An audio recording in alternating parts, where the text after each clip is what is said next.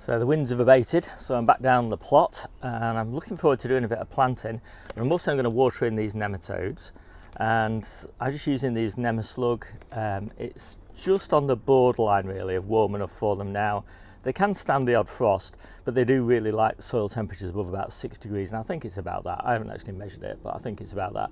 Certainly in the polytunnels and the low tunnels and things like that, it should be fine.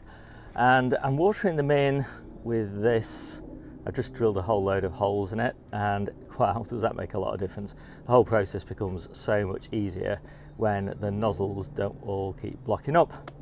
So that's the main job really just a bit of watering and the low tunnels really like it. I like to water at this time of year only when it's breezy and sunny so that all the leaves are fully dried before I kind of close up the tunnels and the, and the cold frames. Now I'm not fully closing anything up at now because there's no frosts um, so I'm leaving them sort of vented like this all through the night, uh, which makes life a lot easier for me. And what am I planting? Well, I'm planting spring onions and possibly, no, just spring onions and beetroot, I think, and a little bit of spinach. So not very much, just filling in the odd gaps and doing a bit of interplanting. Now when you're applying your nematodes, you just water them in like this. You do need the ground to be fairly well saturated and then you can go over it again just with ordinary water. Don't neglect the edges because slugs do like to live in the edges of raised beds. But it's no big deal. I mean, they'll just find somewhere else to go if you don't have raised beds. Um, we used to have uh, ordinary beds with no uh, wooden sides at one time and we just used to get exactly the same problems with slugs that we get now that we've got the raised beds.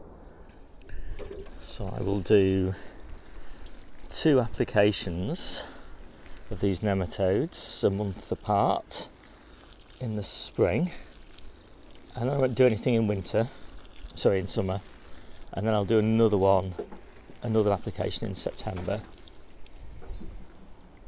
And I find that's enough so I'm planting out these spring onions and these mainly are white Lisbon and I'm just popping them, interplanting them basically into this bed.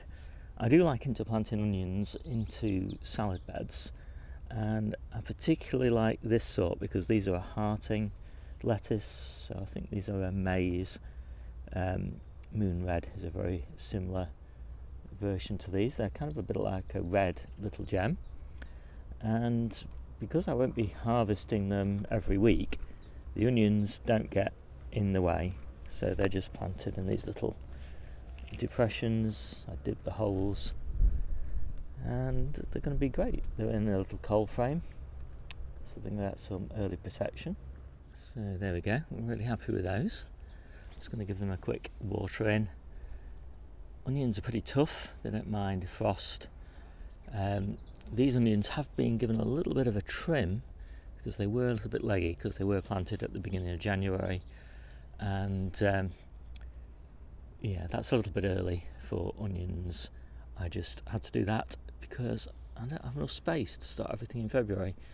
So um, yeah, what can you say about spring onions? Other than that, we switch over from white spring onions to red ones um, about now, really, in terms of sowing, because they're just sweeter.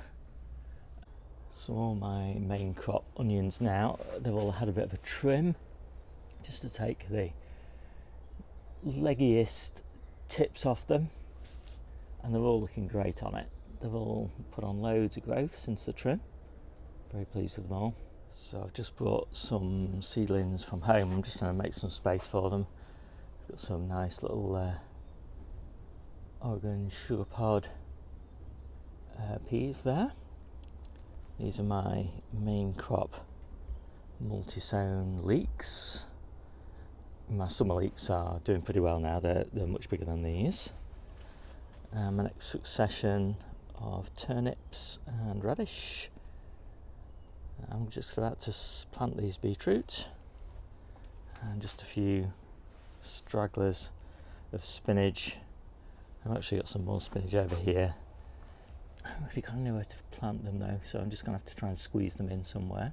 I haven't actually got any space left on my plot now, so everything has to be interplanted.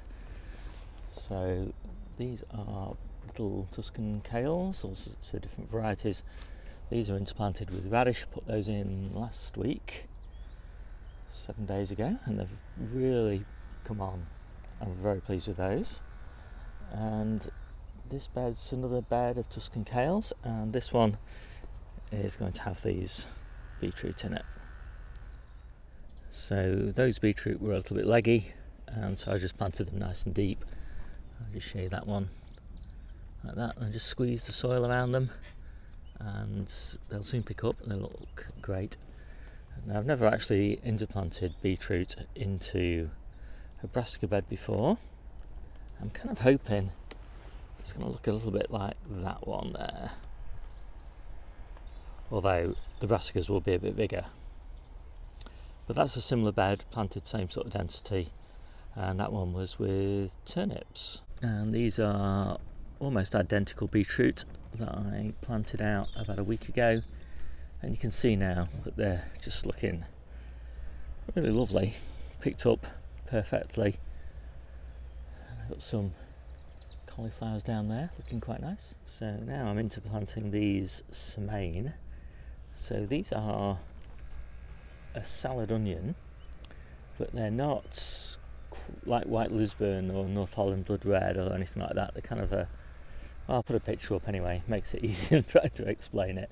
Um, but these come ready about the time, same time as the main crop onion, so sort of July, August time. And hopefully I'll have gradually started clearing this beetroot bed by then. And so the onions will be all that's left. And so they'll have loads of space through sort of July uh, and into August. Um, I don't know I mean these onions definitely they won't interrupt or interfere with the beetroot um, at least I don't think they will I might get an onion crop and as I said they're not for storage uh, they don't have to grow big because they're just going to be chopped up in salads. So I think they're going to be great. And we do struggle really to grow really good quality uh, salad onions in midsummer. They're great in spring, they're great in autumn, they're great over winter, but um, yeah, summer's a bit of a struggle. So we're trying these semaine just to see uh, whether they kind of fill that gap. So I just cleared a few carrots and that let me just plant those last few little uh, spinach. These are red kitten, one of our favourite spinaches at this time of year. And I have got some underneath this little uh, cloche as well that I planted a couple of weeks ago. they're doing quite nice. These I'm just going to pop under a little bit of fleece. So there's some red kitten that I harvested yesterday absolutely. Just look at it. It's such a gorgeous spinach, I think. And the final job on my plot is just to put in these few spare field beans. Debbie's uh, filled all the gaps in the main field bean bed on her plot, and the rest of that bed is just waiting for some spinach, which will be underplanted underneath here. So I've just put this little fleece tent over those broad beans. Now broad beans will survive quite happily without any protection at all really, um, but they will benefit from it in terms of accelerated growth. And that's what I really need here because this bed is my main storage beetroot bed and they get planted at the end of June and so I really want to get all of these broad beans harvested as quickly as possible and this little bit of fleece will really help with that I think. So that's me done for the day. I've got a little ebook chapter on how I deal with slugs and other pests. You can check that out down below. There's nothing very impressive about it. I take a really simple approach to slug management, but it works well enough for me. And if you want to know anything more about any of the veggies that I planted today, then again, look down in the description there and you'll see a link to my database and the everything I've planted so far view of that database. My name's Steve. This is the Seaside Kitchen Garden and Allotment channel, and I'll see you soon.